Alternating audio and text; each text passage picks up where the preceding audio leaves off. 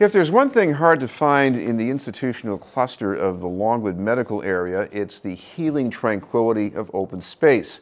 That's the backdrop for a tenacious campaign to save a half acre patch of green on the campus of Boston Children's Hospital, the Prouty Garden. The hospital wants to eliminate the garden to make room for expansion. Recently, the hospital agreed to build a rooftop garden and produce some new open space at other locations. To talk about the campaign for the garden are two participants, a landscape architect and member of the group Friends of the Prouty Garden, Tom Paine, and the mother of a former patient at Children's Hospital, Beecher Grogan. Thank you both very much for being with us. Thanks for having us. I, I want to start with, with Tom Paine. Uh, walk us through this little garden and, and tell us why is this such a big deal?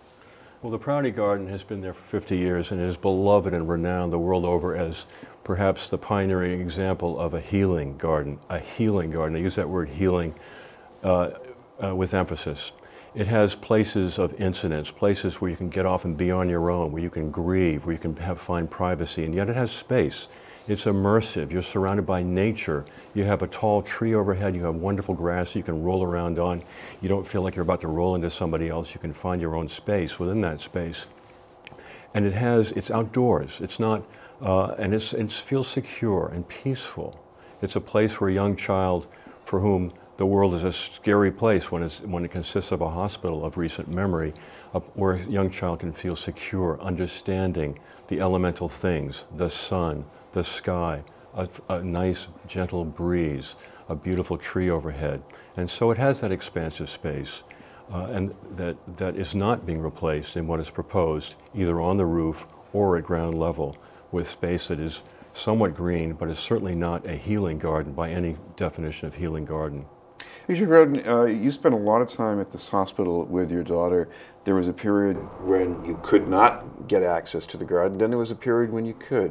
What's the difference? Right. Uh, the difference, you know, we weren't able to access it because they were doing work on Dana Farber, and so we weren't allowed for safety reasons to go outside. And we actually lived in the hospital for six months in 2002.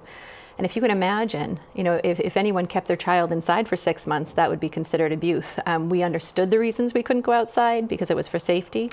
But uh, my daughter unfortunately relapsed. And so in 2004, we were back, and the garden was then reopened. And I got to really see the difference between hospitalizations where you're stuck inside for months and weeks on end, and hospitalizations where we could get outside every single day. And it made a profound difference in my daughter's mental health, and I think physical and spiritual health as well. Uh, how would you explain the difference? The difference, well, you know, if you can you imagine being inside for six months? I mean, my daughter, we lived on a farm. She was a, a tomboy. She was a nature kid. She loved to catch frogs. And to take that child overnight, she had an overnight diagnosis of a very um, rare form of leukemia. And her treatment was so severe, we had to stay in for months on end. So if you can imagine taking that child out of her natural element and saying you're now going to be in the sterile environment in a hospital where you will not be able to have sunlight, fresh air, you won't have dirt under your feet. You won't be able to roll around in the grass. It was, it was really difficult for us. And the view outside our window, guess what it was? It was a brick wall. So that, that really does hurt the human spirit. Um, and and it, it affected us. It, it affected her mental health, her emotional health, to be able to go outside and play and be a kid again and have a sense of normalcy. So, Paine, the hospital is proposing a, a rooftop garden. Um, seems rather attractive in, in some way. Um, is it attractive enough, you think?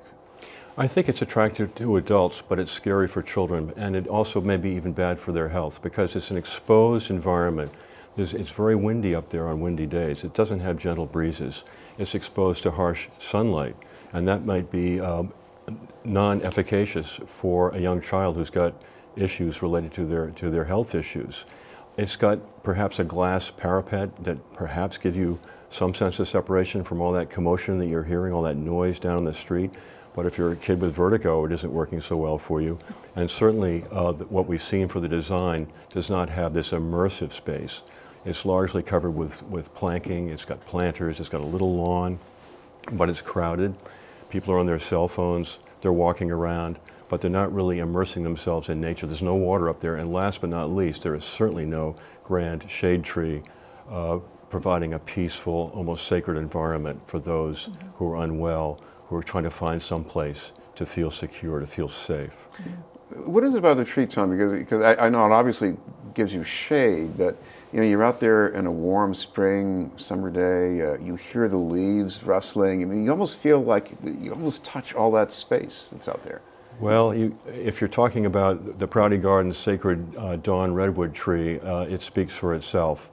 And it will be much more if and when it ever, ever gets sacrificed. But the idea that uh, uh a, a green roof, which by, is by no stretch is a roof garden, but a green roof could have a large shade tree like that and provide that is just beyond, uh, is beyond possibility. And that's a great sacrifice.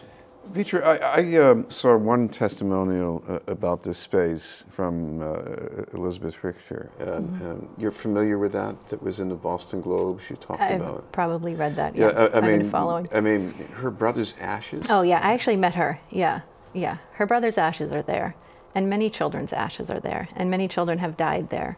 And many children have lived their whole lives in the hospital. And I think from the outside, it's hard for people to remember. You know, when you think about a hospital stay for a grown up, it might be a week, and they think, well, what's the big deal? You know, they forget that children's treatment for cancer is very different. It is very intensive. And for Lucy's cancer, they would bring her down to literally death's door and then bring her back up again over and over again. And, and we forget, you know, you're there for months and months on end, literally living in this space and, and we are taking away from children accidentally, and I'm not picking on children's, but all hospitals have this challenge where in a hospital you can't sleep through the night ever because people are coming in all night long. You can't get really good organic nutritious food unless you bring it in. So, so things like sleep, fresh air, they don't exist in a hospital. And it's kind of one of the ironies of modern medicine is that we're cut off from these things that are the most healing, especially for children. You know, I think that the article by Dr. Um, T. Berry Brazelton brought up some wonderful points about what children need. You know, he is, he is a prominent physician at Children's Hospital. And he really spoke up about the need for children and that the needs of children need to come first at this hospital. Do you remember anything your daughter told you about this garden? Oh, yeah. Yeah. I mean, I have, I, am a photographer um, by trade, and Lucy would have me take pictures of everything out in the garden every tulip, every flower, every crack in the sidewalk, every statue. But one day we were out there and she had a mask on and we, she had me take a picture of her toes in the grass. And I said, what do, you, what do you mean? She's like, I need you to take a picture of my toes in the grass because that's who I am. And it, I have that picture, and if you can imagine, it breaks my heart. I mean, Lucy's now gone. She doesn't need a garden anymore, but she desperately needed it then. And I, you know, I'm here not for Lucy, but for the children who are alive now and fighting, fighting to survive. I, I, know the campaign is trying to keep in touch with people out there, so if people want to follow up on this, what's the best way to go? Uh, Absolutely. They should go to um, Prouty Gar- well, Save Prouty. Save Sorry, saveprouty.org has all the information, lots of articles and links. Thank you both very much, Beecher Grogan and Tom Paine. Thank you. Thank you. Still to come, a musical celebration of black history at Symphony Hall, but first, this message.